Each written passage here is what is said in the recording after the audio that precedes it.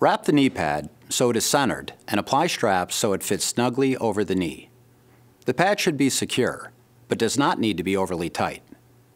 The knee pad may be positioned differently if you want to route the tubing set another way. Ask your doctor when and how to inspect your skin underneath the pad.